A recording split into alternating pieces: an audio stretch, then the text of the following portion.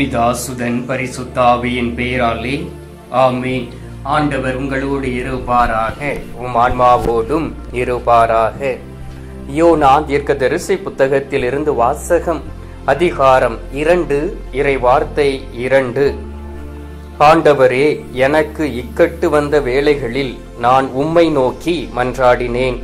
நீர் என் மன்றாட்டுக்கு செவிசாய்த்தீர். பாதாளத்தின் நடுவில் இருந்து உம்மை நோக்கி கதறினேன். என் குரலுக்கு நீர் செவி கொடுத்தீர். ஆண்டவரின் அருள்வாக்கு இறைவா உமக்கு நன்றி.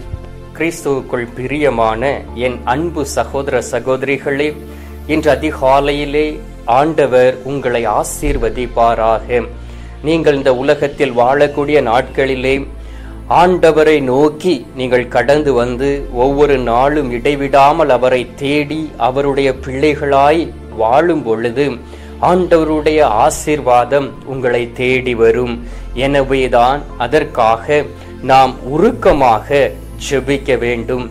நாம் ஆண்டவரிடம் உருக்கமாக ஜெபிக்கக்கூடிய வேளையிலே கடவுள் நமக்கு பதில் தருகின்றார்.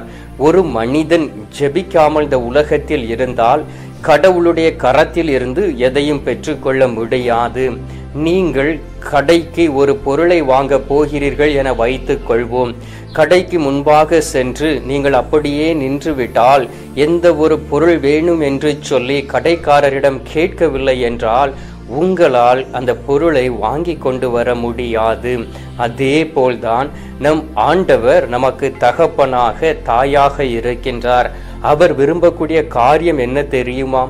என்னுடைய பிள்ளைகள் என்னிடம் வந்து கேட்க வேண்டும். அவர்கள் என்னிடம் வந்து கேட்கும் பொழுது விசுவாசத்தோடு நான் அதை செய்வேன் என்று உருக்கமாக மன்றாடக்கூடிய வேளையிலே உண்மையிலும் உண்மையுமாக இல்லாத ஒரு பொருளை கூட நான் உருவாக்கி கொடுக்கக்கூடிய தகப்பனாய் இருக்கிறேன் என்று ஆண்டவர் சொல்லுகின்றார். பாருங்கள் இந்த நாளில் வாசிக்க கேட்டோமே. யோனா தீர்க்கதரிசியினுடைய ஒரு உருக்கமான ஜெபம். அவர் ஆண்டவரை நோக்கி ஜெபிக்கின்றார். ஆண்டவர் அவரை நினைவைக்கு அனுப்புகின்றார். அவர் ஆண்டவருடைய கரத்தில் இருந்து வழி தப்பி அவர் நினைவைக்கு போகாதபடி அவர் கடந்து செல்லுகின்றார். அந்த நேரத்திலே தர்ஷுக்கு செல்லுகின்றார். அப்பொழுது ஆண்டவர் அவரோடு கூட கடந்து வந்து அவரை அங்கு இருந்த அந்த கப்பலில் இருந்து அவரை மீட்டு அவரை ஒரு மீனின் வழியாக கொண்டு நினிவே என்கின்ற பட்டணத்தில் போடுகின்றார். அவருடைய வேலை என்ன? நினிவே மக்களுக்கு ஆண்டவருடைய வார்த்தையை அறிவிப்பது. ஆண்டவருடைய கரத்தில் இருந்து எப்படியாவது தப்பிவிட வேண்டும் என்பதுதான் அவருடைய குறு குறிக்கோளாக இருந்தது. ஆனால் அந்த கடலிலே தூக்கி போட்ட பிறகு மீனின் வயிற்றிலே மூன்று நாட்கள் இருக்கின்றார். அப்பொழுது அவர் ஆண்டவரை நோக்கி மன்றாடுகின்றார். என்னுடைய இக்கட்டான நிலையிலே என் ஆண்டவர் என்னை விடுவித்தார் என்று சொல்லி ஆண்டவருக்கு நன்றி சொல்லி மன்றாடுகின்றார். அதே போல் நம்மளுடைய ஜபம் ஒரு உருக்கமான ஜபமா இருக்கக்கூடிய வேளையிலே உண்மையிலே ஆண்டவர் நமது ஜபங்களுக்கு பதில் தருவார். அந்த அனுபவம் உங்களுக்கு இரு இருக்கின்றதா அப்படி இல்லை என்றால் இந்த நாளிலே ஆண்டவரை நோக்கி உருக்கமாய் ஜபிக்கக்கூடிய பிள்ளைகளாய் நம்மை மாற்றிக்கொள்வோம். அன்பார்ந்தவர்களே புதிய ஏற்பாடிலே இன்னொரு நிகழ்ச்சியும் நாம் பார்க்கலாம். பேதுருவை சிறையில் அடைத்து வைத்திருக்கிறார்கள். ஏன் தெரியுமா?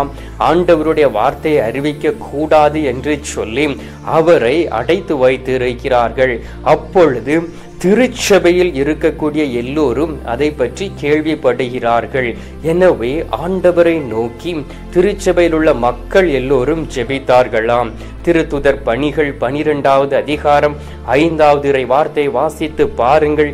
பேதுரு சிறையில் காவலில் வைக்கப்பட்டிருந்த போது திருச்சபை அவருக்காக கடவுளிடம் உருக்கமாக வேண்டியது என்று சொல்லப்பட்டு இருக்கின்றது அப்படி என்றால் ஆண்டவரை நோக்கி நாம் உருக்கமாக ஜபிக்கக்கூடிய வேளையிலே ஆண்டவர் நம்மை தப்புவிப்பார். நடந்த காரியம் என்ன?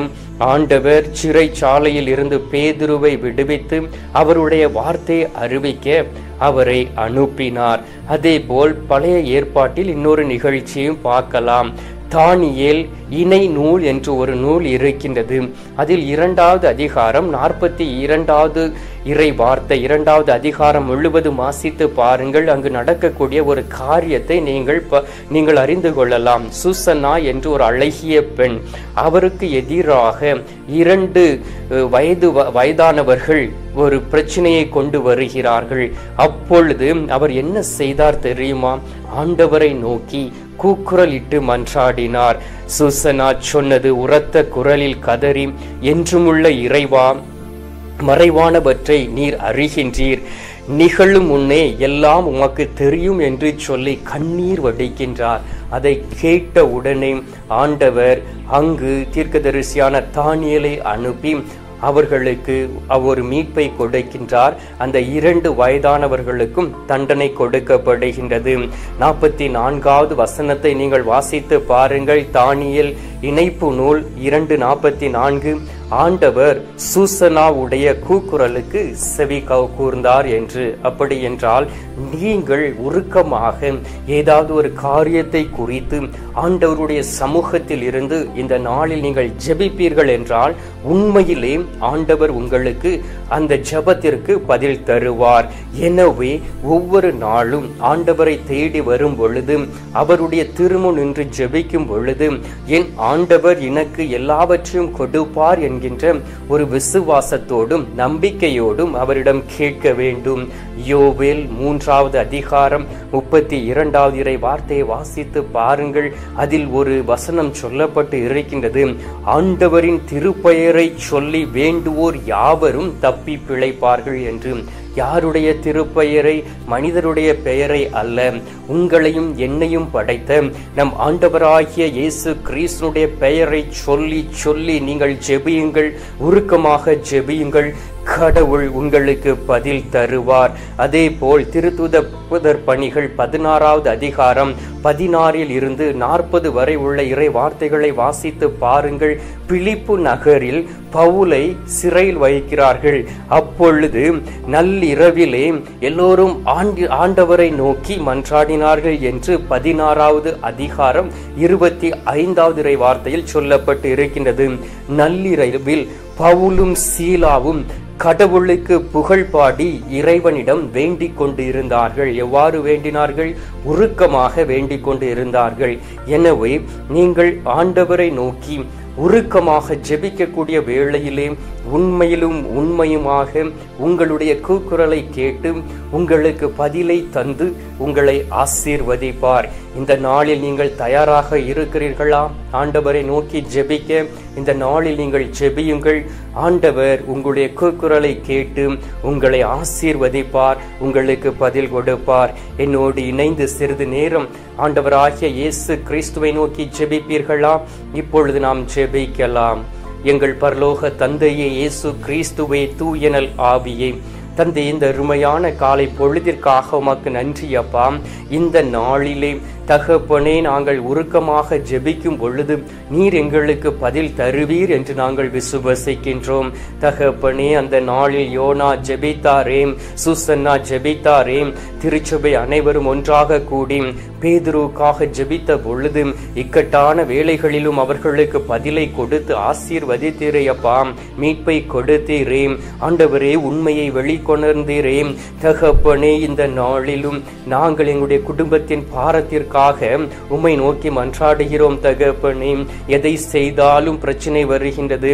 ஆண்டவராகிய இயேசு கிறிஸ்துவே எந்த ஒரு காரியத்தை முன்னெடுத்து சென்றாலும் அதில் தோல்விகளும் கவலைகளும் கண்ணீரும் குழப்பமும் வருகின்றது. எனவே இந்த நேரத்திலே எங்களுடைய மன விருப்பங்களை நீர் அறிந்து இருக்கின்றீர். எங்களை முழுவதும் அது கரத்தில் ஒப்பு கொடுக்கிறோம் சுவாமி. எங்களுடைய ஜெபங்களை கேட்டும் இந்த நாளிலே நீர் எங்களுக்கு பதில் தந்து எங்களை ஆசீர்வதி ஆசீர்வதித்திட வேண்டுமாய்மை நோக்கி ஜெபிக்கிறோம் தகப்பனே. இந்த நேரத்தில் எங்களுடைய ஜெபங்களை கேட்டிருப்பதற்காக உமக்கு நன்றி. ஜெபத்தை கேட்டு பதில் தந்திருப்பதற்காக உமக்கு ஸ்தோத்திரம். மீட்பெரும் இரட்சகருமான இயேசுவின் திருக்கரத்தில் ஒப்பு கொடுத்து எங்கள் பாதுகாவலராம் புனித சூசையப்பர் வழியாக ஜெபிக்கின்றோம். எங்கள் அன்பு தந்தையே ஆமேன். பரலோகத்தில் இருக்கிற எங்கள் பிதாவே உம்முடைய நாமம் அச்சிக்கப்படுவதாக உமது ராஜ்யம் அருக உமது சித்தம் பரலோகத்தில் செய்யப்படுவது போல பூலோகத்திலும் செய்யப்படுவதாக.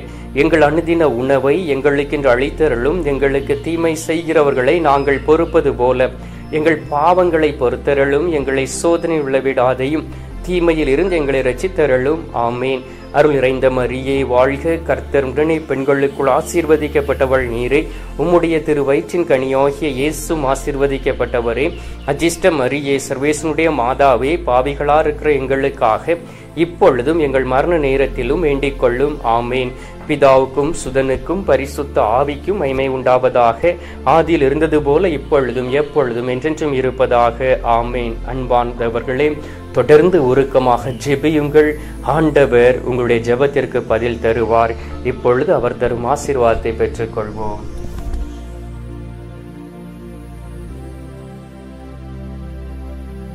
எல்லாம் அல்ல இறைவன் பிதா சுதன் பரிசுத்த ஆவி உங்களை ஆசீர்வதிப்பாராக. ஆமேன்.